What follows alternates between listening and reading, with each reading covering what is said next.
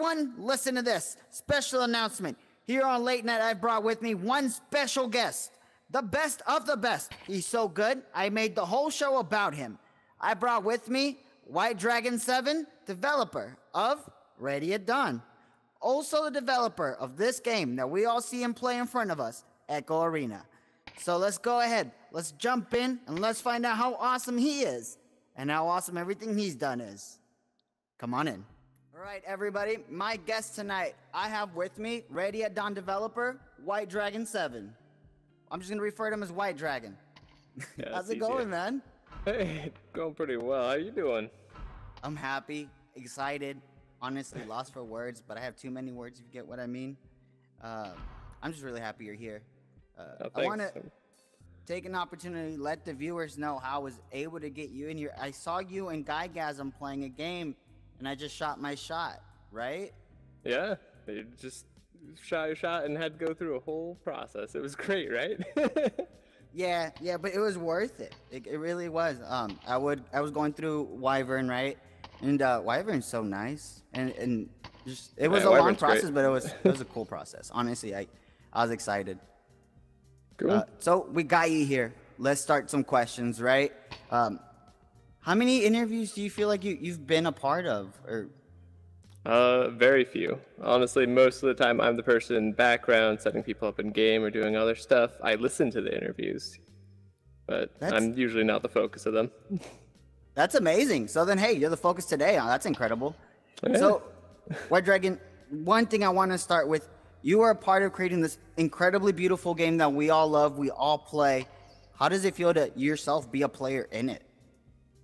Uh, it feels pretty great. I mean, when I was first working on this game, I knew that I loved it, and I was excited to get more and more people playing, just so we could have more and more competitions. So, honestly, this is uh, this is fantastic. This is everything I hoped for when making this game. So, I mean, going into it, right? Because this is virtual reality. Uh, I, I also realize Ready at Dawn has made other games. Have you been developer for other projects, or is this like your first child with, with the company? Yeah, I worked on other projects as well. Uh, we were working on Deformers back when I first started, and then Lone Echo and this project were simultaneous, so I've been on all of them. I also most recently worked on Lone Echo 2 as so there's a lot of stuff going through. I tend to have a hand in most things. So you said deformers, and I'm sorry because I don't know too much about it, but I think I've heard that before. And those little like like the watermelon and all those, does that come from Yeah, that? exactly. Like all the little squishy blobs and stuff that roll around. Yep, that game. So all of that is Easter eggs from other games you guys have been a part of. Exactly. Dude, looking at the lobby is gonna be very different now when you see those toys. yeah, I mean, especially when you you put them in that special customization spot. Yeah.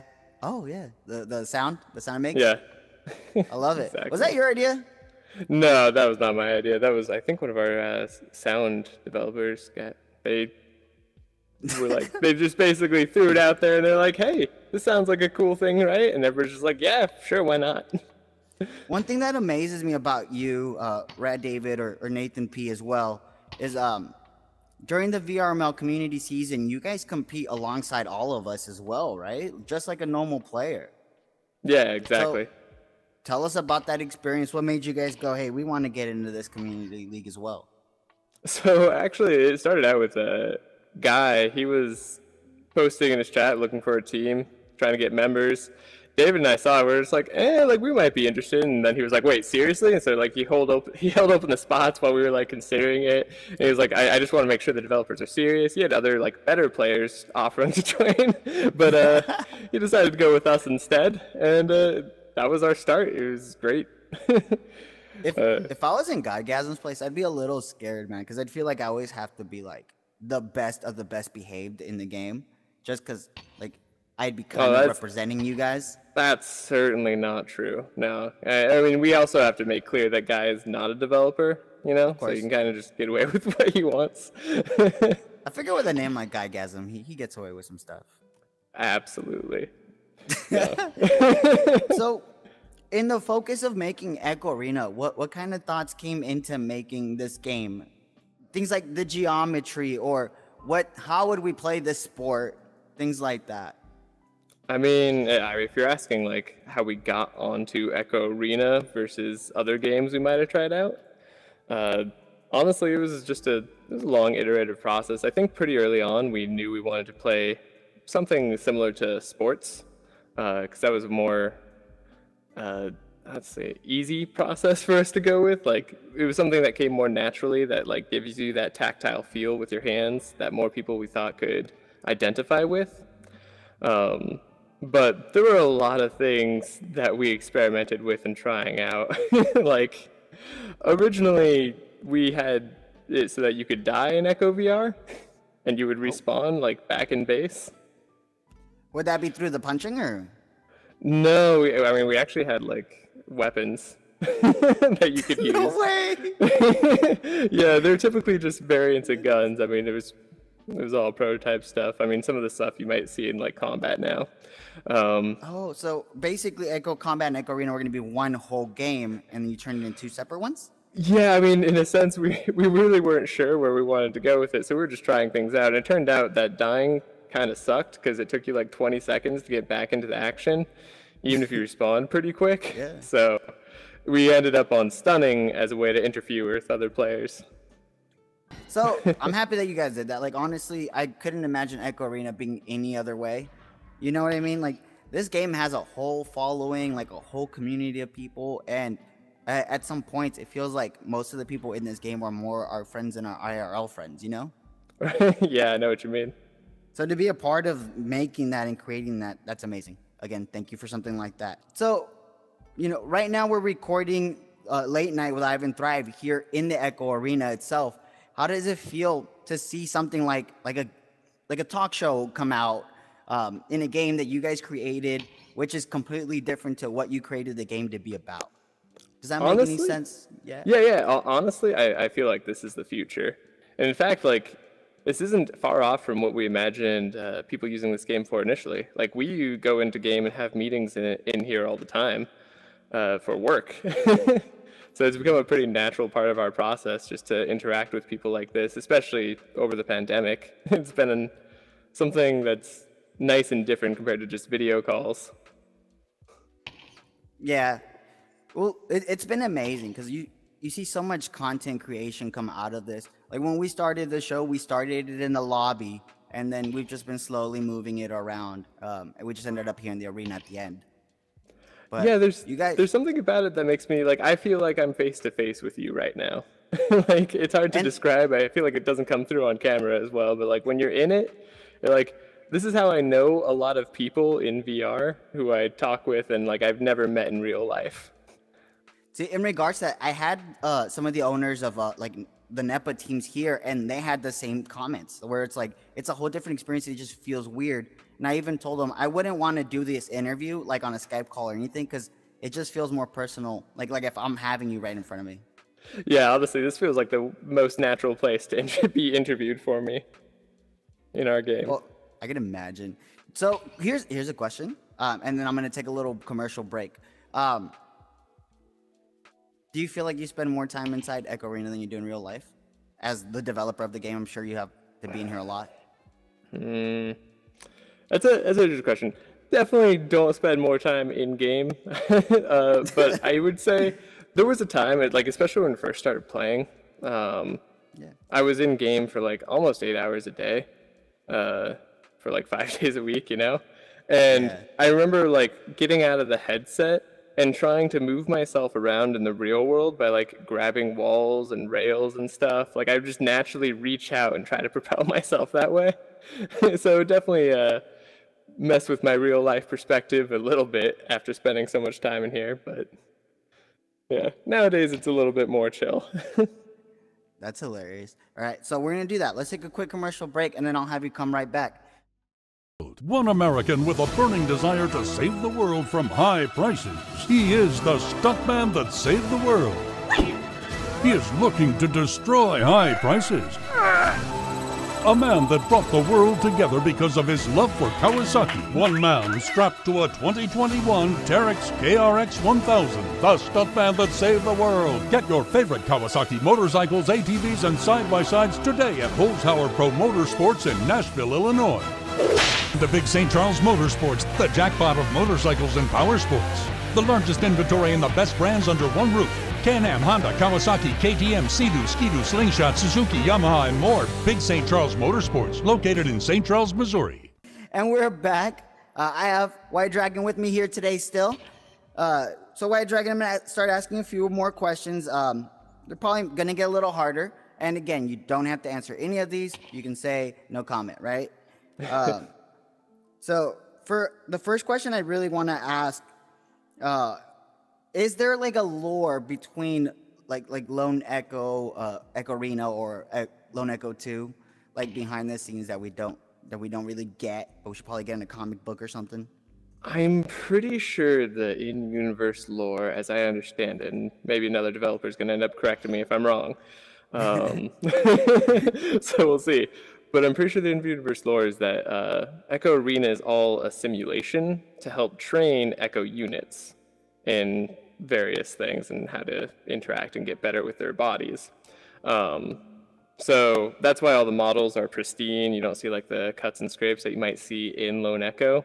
Um, yeah. So that's all set up by the corporation that you might know in Lone Echo if you uh, did some digging with audio logs. so yeah, there is a little bit of in-game lore, and I believe, like, I forget how the arena itself goes in, but you know, there's the disc in Lone Echo as well, um, that Jack and Liv will use to shoot hoops sometimes.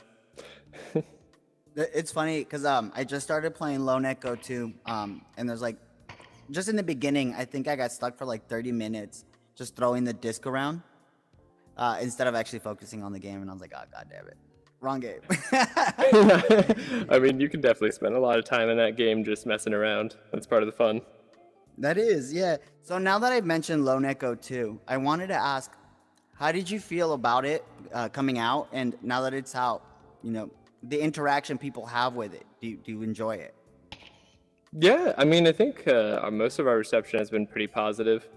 Uh, Lone Echo 2 was it was a long time coming. it was a lot, lot of work that went into that, a lot of late nights. Um, but it seems like it was all pretty worthwhile. And honestly, I think there's some experiences in that game. Like I know there's a few key moments that I love that just really uh, stick with me, and I hope other players too. So honestly, it's it's great that it's out and done, and that people get to enjoy it. Also, I want to say another perk for why you guys should go get Lone Echo 2. That skin he has, the one I have right now, these chassis, you get them when you buy Lone Echo 2. So that that's kind of a, a perk, right? You, definitely worth it. The, does that perk go away, or is that just anytime you buy Lone Echo 2 at any point in life? Anytime you buy Lone Echo 2. As Ooh, long as it's the same chassis. account. Yeah, very true, very true. so, one more. Let's lead on to this question right here. Um, I want to ask about chassis. When okay. when you're going through this process of developing these new chassis for the season pass, um, there's so many people, you know, having their own ideas on what you guys are going with. Is it a linear path, like, like you know, a certain point in time that we're going towards, or is it just kind of you guys brainstorm ideas and yo, this is awesome, roll that one out? Uh, all I can say is that we're trying to keep ourselves pretty open. Uh, so we get a lot of brainstorming, a lot of cool ideas, like you mentioned, come through, and uh, we pick and choose the ones that seem the most viable for us. So, does that mean that one day you're gonna finally let us get a chassis with a nice tuxedo on? Because that's what I'm waiting for. I can't make any promises. oh man, dude, because I'm saying here, let me pitch it to you really quick. Just like this for late night, having the chassis with a nice tuxedo, nice little red bow tie, that's gonna be awesome. I probably wouldn't use it in the arena to play, but I would use it to record. Right? Uh, that probably just kills the pitch because I'd be the only one using it. no, no. Okay. So, you know, talking about leagues, right? We kind of mentioned uh, there is no team being in VRML, you being a member of the team. Um, and there's been different leagues that have created themselves around the time. Uh, right now, uh, the the NEPA Pro Series has started up, right? Uh, again, this show is on the NEPAVRPro.com website. Uh, how do you feel about seeing things like that? I think it's great. Honestly, this is this is sort of what I hoped would come out of this game. Like, we're really uh, intermediary between real life sports and like esports, and we have this physicality associated with our game that isn't necessarily demanding you to be physically fit, but sort of encourages it in a way. Like I've definitely gotten a few workouts out of playing for a while. um, but no, seeing the leagues and everything form around that, like it's great. And honestly, I hope it's more to come until we get like giant stadiums where you know you, you see those like lol those League of Legends games where they just like have all those people and like things, and I just want to see like people jumping up on their pads and doing crazy cool moves in real life and then seeing how that translates like in game real time. Now, I know how I would feel to see that, but I can only imagine your feeling as a guy that made the game to see it get to that extent. That would be insane for, for you, wouldn't it? Yeah, it really would be. we had a little bit of that at like some of the first OCs, and it was a pleasure to watch. That's awesome. I have a feeling that we'll be seeing that then, right? You know, like the NEPA Charity LAN event coming up soon. Uh, by any chance, do you do you feel like some of you will be there? Uh, I mean, I don't know if I don't think any of us have been invited personally. I, I mean, or maybe I haven't. maybe somebody else has. But uh, I have to take care of that. Don't worry about that. but no, I mean, I generally like participating in events and just having a good time. I mean, I'm a bit more casual in terms of practice, but you know, I, I'm okay at this game feel like okay, I can that's a lie. Down. You are not casual. when I met you, you and Guygasm were like faster than like. So there's these two players, right? Chocolate and Sweet Tooth, who are supposed to be like the fastest ones.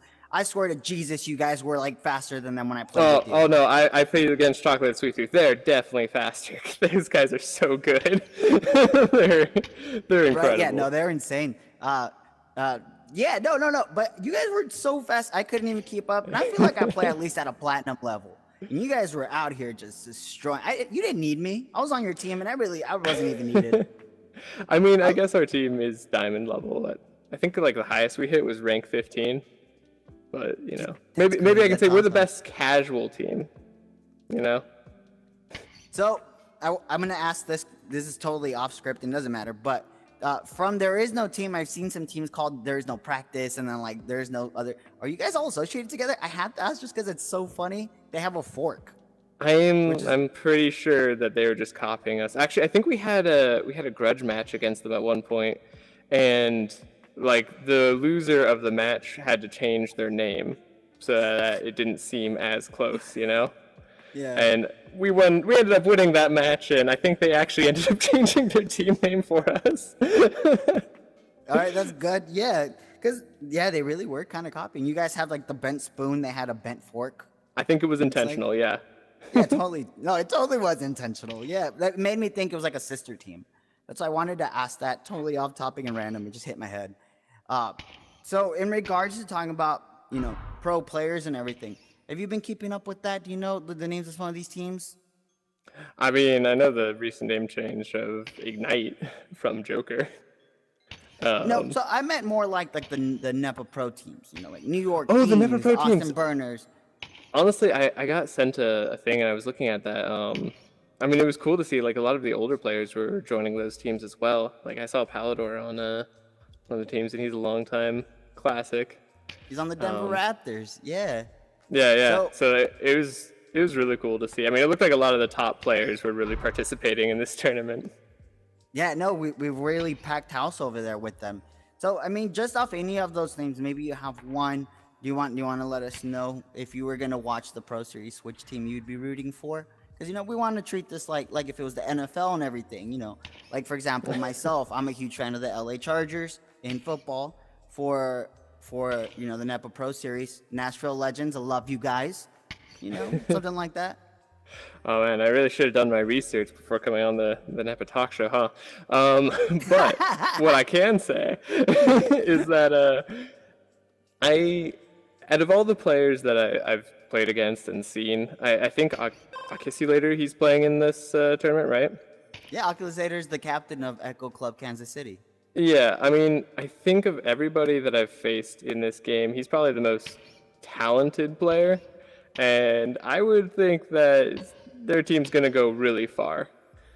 So I, I'd say they'd be one to watch. But of course, anyone who has the Ignite players on their team, they're probably going to go pretty far too. So their teamwork and all of their individual skills are top notch. I'm going to give you a little lesson on that, you know, just in case. Orlando Cyclones has Game as their captain. Uh, the Nashville Legends have Kong as their captain alongside Dash XL. Um, and then, funny enough, St. Louis Hustle has Ryan and Rocks Titan. And then on his own island, we got Jay Walker on the Florida Laser Sharks. Oh, that, was smart to separate them all out. Yeah, because then it would have been a super together. team. Yeah, yeah. Yeah. Yeah, no, those those teams are all ones to watch. But honestly, in terms of raw like capability, I think uh, Oculus Sator is going to be the one to to carry their team to victory. Dude, no, I keep saying this. I, I, I feel weird because I say it so much, like on the show when I talk about like my top five. Aug is on that top five, so like I am excited to see him as well. But for me, uh, I don't know. Yeah, no, Nashville Legends are awesome. Uh, only because they have Crispy Dash, who's on my VRML team. But other Yeah. than that, second pick, New York Kings, because it's Strembitsky and Al, who are both in my top five. Yeah. Strem's pretty great. I mean, I played with uh, Jay Walker, and uh, he's really talented as well. Like I've been on his team and against him. It's been really fun public matches when that does end up happening. So I'm gonna close it off with this one last question, honestly. In-game mechanics, you know, things like uh, the Joker train have been created, or some of that stuff. Did you guys think that that would come out when you first developed the game? So, I mean, that's an interesting question. Honestly, the regrabbing was one of the things that we ended up building the game a, a bit around. Because we initially toyed with the idea of, like, oh, what would happen if you had, like, proper physics with pushing on people in space? And it would make you very sick.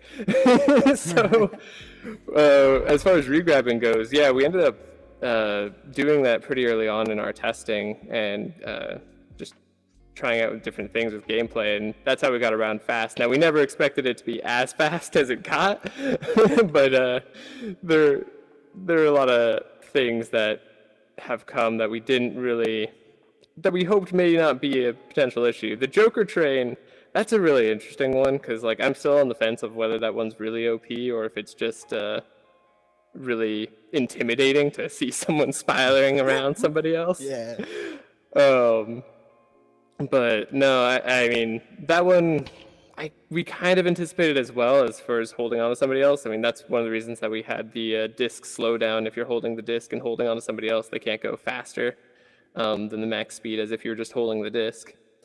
Um, but the real crazy thing, honestly, that I saw that really like tore apart my expectations, something that I thought about, but I thought literally would never happen. And that's people just crawling fast enough, like with their arms, you know, to where it makes it so like it's actually competitively viable to crawl on the ground while having somebody hold them, and they're going so fast that the other players, like if they misstep, they're just not catching them. that is definitely one thing I never anticipated. I don't think I have ever seen that, and I feel like you might have just created a new meta for those have never seen or heard that. Uh, it's actually it, it was created by some players and then it got swiftly banned. as, Oh, so it's uh, a banned thing. Never mind, exploit. guys. Don't use Yep. it. Don't use it. Don't use it. It's banned. you know, in regards to banned, uh, here's here's the last one, a, a controversial one, the half cycle. Here's my thing to the half cycle. It's literally a zero G juke. We're in a zero G environment. It's a zero G juke. I'm so okay with it, but it's a very controversial thing. half cycling is it's definitely a, an interesting one. I'm actually okay with half cycling as it is. I think the the tricky part though is that if you allow half cycling, right, then it gets easier to hide. Uh, I mean, we call it stremming, right?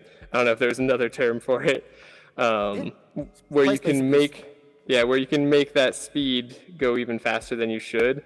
And so I can understand why you might want to just ban half cycling to make sure the other one can never even come up, even by accident.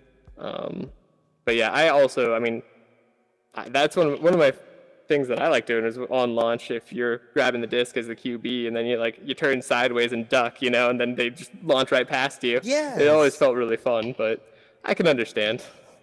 No, like again, I understand why it, why it would be banned in some of the leagues, but then we are in a zero G environment, and half cycling just makes sense as a zero G juke. That's what I've been calling it. We're trying to coin it. If it ever catches on, I hope it does, because that sounds awesome.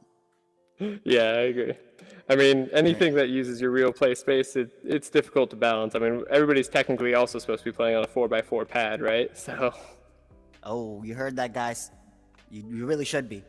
So I'm, I'm happy to close it off from there. Uh, White Dragon, I tend to do little game shows after this, but I was actually wondering instead of a game show with you, you can maybe uh, walk me and JG around the arena. Let us know some stories of some of the stuff that happened in the beginning of development with those. Is that cool? Yeah, sure. I mean, I can try to give a, uh, my knowledge of this map as it was created, if that's what you're looking for. That would be awesome. Thank you so much. So let's do right. that. Let's head over to that. Cool. All right. Oh, oh, oh. Uh, so yeah, I mean, you want to learn a little bit more about the arena and its history, right? I mean, one of the things that was really fun when we were first demoing this game and showing it off, like we had, uh, I mean, we called them Jack pods because Jack, our character in Lone Echo. Yeah. um, uh, but you used to have to like pull the handle every time you went back out. So people would get stuck in these like pods and like not figure out how to get out, or there'd be like some issues, and they'd just be like trying to flounder around. And so we ended up just like to fix to solve all our issues, we just cut the pod exit entirely and was just like, hey, yeah, you're just free to move around immediately. like, that was something we decided on just to save time and effort, and because a lot of people found it was kind of a hassle. Even though it's a, like a, it's a cool immersive thing, our game didn't need it as much. No, that's funny. Uh, I remember seeing a YouTube video like that. Hasco Seven did a whole video. and It was like seven minutes long. of Her just teaching people how to get out of the chute. yeah, I mean that, that was part of the problem was you had to really be taught, and we kind of teach that in our tutorial, but not everybody goes through the tutorial the same way, you know. Yeah. Oh man. And then yeah, for our scoreboard, I mean, we actually like we've added so much UI on this initially, like that wasn't there initially. Like the team's not ready. Like having a pause in our private matches, like giving different signals to different people, so you can just keep like your attention on what's happening for each person. And then like even the stats that we show here, we didn't have everything initially until we realized like, hey, what are the things that like people kind of find most valuable? yeah Um, and so we, we sort of landed on like, of course, points and assists, and then saves were another one that people really cared about, and then stuns too, because there's some people who just like to go into game and just brawl it out. That, that's Yeah. what- the episode before this one, I had Gilligan. I'm sure you've heard of him and his stuns. Oh, I we've played against Gilligan and their team many a time. He got punched out a lot. So I think what's what's funny about like these launchers and stuff is originally uh, we were planning to have like I mean we didn't know exactly how many launchers and things we had, although we knew that we wanted some way for people to get out into the action fast. Because moving fast felt really good, and it was fun to just be like in it uh, immediately. And so at one point, like through iterations, we were trying out like just a single launch tube, like in the center, like right behind the goal, you might imagine. and like uh, uh, the level designer at the time was like, actually, let's try like this five launch tube version.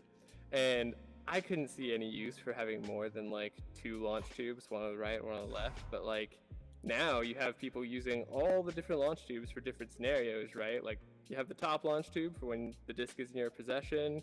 You got these two for jousting most of the time, and then you have this one when like the disc is usually in the other team's possession, and they do like that undercut where they're using the geo just to hide themselves until the last second when they're zooming super fast. And like Yeah, that that sort of innovation on using these tubes was really remarkable to me. I was like, oh, cool. Like, turns out the, developers like they they knew what they were doing. They guessed right, and like, I mean, we got a lot of talented people figuring this stuff out. Yeah, that's awesome. Yeah. I mean, one of the other things that was interesting too is like you might be surprised to hear that at one point we toyed around with the idea of having like a backboard that kind of rejected all your bounce shots. so it made it almost Yeah, yeah. So it made it like impossible almost to get all the back shot, just just to see like how it felt, and like it was almost unanimous like that day when we were playing at Ring. It's like, uh, no, no, we want our shots to go as in as possible, and like they really took that idea to heart when making this whole arena. Like they actually um, modeled out how to get bounce shots from a lot of different locations, so that honestly this whole arena kind of feeds into the goal, which I think creates some of those really like lucky shots you see from across map where someone just like was clearing the disc and then like all of a sudden like if they get that crazy bounce shot right at the end. And those are pretty fun and cool wacky moments that we really appreciate. So So i'm not sure if everybody feels is, the same. What you're saying is from any of these, just finding the right angle, you're, you're sure to get a shot. Almost certainly there's al- almost from any location you could probably get a bounce shot if you just knew what you're doing it might take one or two bounces but like yeah almost always Awesome. So that was on that note too. I'm talking about taking cross map shots. Like figuring out how many points each shot was going to be worth was its own hassle. Because initially we tried out like just one point up close, two points from far, and then like three points if you were like really far out, you know. Yeah. But it made those like kind of lucky shots feel really uh, game changing when maybe they shouldn't be. Because like a three pointer was already quite a bit of a difference, and like having three times the score of just being inside the bubble felt really bad because that means like one team gets a lucky shot and bam, they're super far ahead, you know? Assuming they're Yeah. roughly equal skill.